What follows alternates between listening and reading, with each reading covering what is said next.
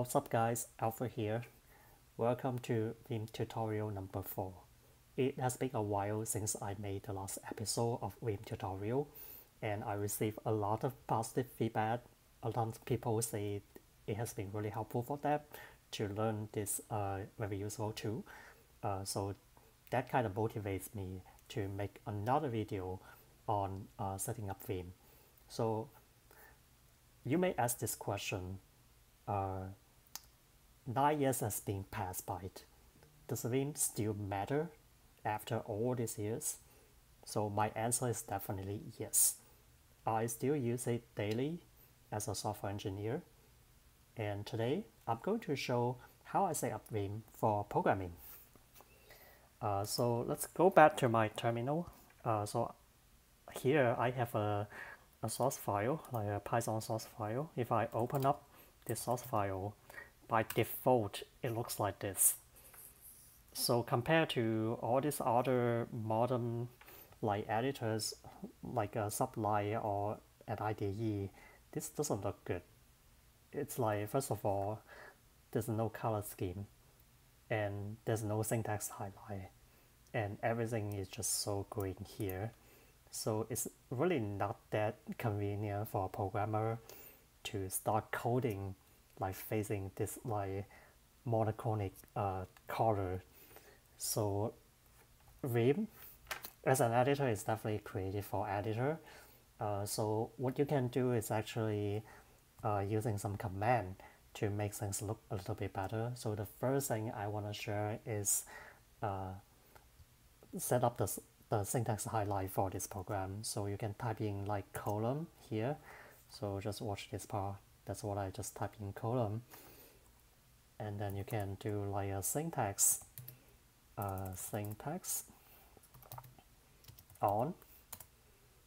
And then now the programming language uh, keywords will be highlighted. So this and also the common will be in a different color. So this looks much better than before, right? And uh, another uh, useful thing to do is to put up the uh, display the line number. So we oftentimes uh, we need to say this line has some bug there, but what is this line number? Then it doesn't make sense there for us to go back to the beginning and count, say one, two, three, something. So what we can do is, uh, again, uh, type in column, and the command is uh, set number. Now you will see that the line number just displayed on the left side and you can easily see uh, this line is line, line number 7 and uh, uh, there's another thing uh, that we can do is change the color scheme of the file. So uh, I personally think this file looks okay to me but uh, just for personal preference you can uh, changing a different color scheme. So what you, what you need to do is just type in color scheme. And then there are several uh, building color scheme that you can choose. Let's say I remember one of them is called blue. And enter. Now uh, the screen is becoming like bluish. And uh, if you want to see what are the available options you can just type in uh, color scheme and then just press enter without typing any name uh, how this work uh, actually it's like you type in color scheme, you press uh, space, and then you press the tab on the keyboard. Then you can uh, go through like it, it will like uh, list out the available options. So just like that. Uh, so this is called Desert. Let's see what it looks like. Huh? Not bad. So I personally like a, a theme called torte. So yeah so by then uh, everything looks good. It's much much better environment for coding. So now we can uh, after like editing the file we can quit the program. Now we open up the file again and uh, it seems like Vim doesn't remember our preferences it just goes back to the default setting and everything just becomes like a, uh, the single colored here again. Uh, so next, I'm going to teach you how to let Vim uh, remember our settings so that we don't need to do this every single time. The secret of letting Vim remember our preferences is to create a config file. So this config file is called .vimrc and I will try to show you how to create such one for uh, your project. So uh, this file would be in our home folder, uh, home directory. So uh, this tilde sign on Linux uh, just means our home directory. And then the file name would be vimrc. So rc stands for run commands.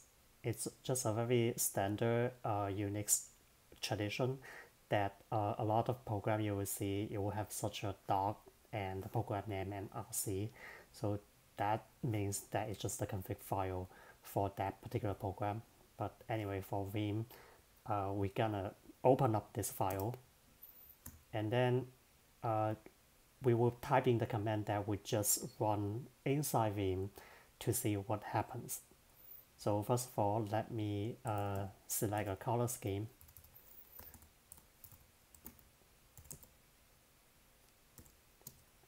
So this is my favorite uh, you can choose your uh, the one that you like and I will have a set number and also a syntax on uh, those are the important important uh, commands that I want.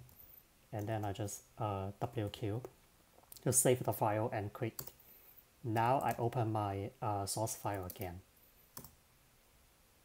So uh, this is just saying I have another uh, window that opening up a file. So it doesn't matter. We can just press E to edit anyway. Now we're inside here uh, we can see that uh, right now it's no longer a monochromic uh, theme as before uh, this time it has a line number uh, it has like syntax highlight for all the Python keywords and uh, so now we can click and even open the file again, it will remember our settings uh, with no problem. So cool. Uh, now uh, I'm going to add another a few things that will be helpful. So first of all, let me uh, make this window full screen. And then uh, I'm going to split the window side by side. So what I would do in Vim, you can do that by pressing Control W and then V. That stands for a vertical split. I think this color is a little bit too uh, it's too dark. Let me change another one. Okay, that's better. Now we can see the comments a little bit a little bit better than the previous color scheme. So on the right side of my window, so I can uh, I can move my cursor to the right side by pressing Control W W, and then now I'm on the right side. Now I want to open up my uh, vim.rc .vimrc file. So I type in column E tilde dot vim rc now I open up my like uh, previous config file that I save. So I usually would also like to do one thing, it's like by default, I think when you press tab, this is really wild. It's like normally uh, we want either two spaces or four spaces for Python or any other programming language. If you have a this kind of like a block structure, so inside the for loop, we want the indentation to be four spaces or two spaces. Uh, so by default, if you press tab, this is probably like eight spaces. It's really wild and makes it look really ugly. So just like that. And then you can have your print statement here, which doesn't look good. So what I would do, uh, it's like on Vim you can change that as well. So uh, the way to do it is having something like a file type plugin indent on. And then set tab stop equal 4 so that means like the when you press tab uh, the space will be 4 set shift width equal 4 and set expand tab now I can just save this file uh, by column W and come back to my source file. Uh, now I don't want to click my program in terminal to and open this again. Uh, then this the config we just set here will be live. Uh, but I'm too lazy to quit Vim, so I can actually just reload it inside the program. So the way to do it is column and source, and then uh, you give the direct the, the path of the your vimrc file. So uh, like that. Source. And then in your home directory dot vimrc file press enter. Now your change will be live. Uh, so you see the the color changes it's because uh, by default I have this uh, this torte uh, color scheme. Probably I, I probably want to change it for default so that uh, it's easier to see. Okay, now I can come back to this screen here. And I can also repeat my previous command by uh, column and then press the up arrow key. Uh, so the last one was just W save and I press it again. That was the previous command I just used, which is reload the source file, uh, reload the config file. Okay, now the color changes. Uh, we know its life. Uh, let's try to do it again. So we have this for loop and then press tab. Now it is perfect like four spaces, not eight. So I can have my uh, command here. All right, uh, okay. So the next thing I want to show is like I want to run this program. Like after I write a source code, uh, especially this Python code, I want to run it. We can just click the window and then run it on the terminal. But again, I'm too lazy for that. So I goes to the right side by pressing uh, Control WW choice again. The command to do it, uh, column TERM so which is the prefix of the word terminal and press enter. Now the right side of the window split into like the upper part and the lower part. The lower part was the source file that I previously opened and the upper part is a terminal. Notice this is a terminal inside the Vim program and I can just type in anything that can be run inside the terminal now I want to run my program, uh, which is like uh, putting out Fibonacci series.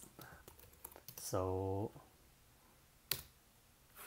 yep, so it does run the program successfully. Okay, uh, cool. So that's it for this tutorial. I think the best way to learn something is to practice. Practice makes perfect. So after watching this, you should have enough knowledge to set up your Vim for coding.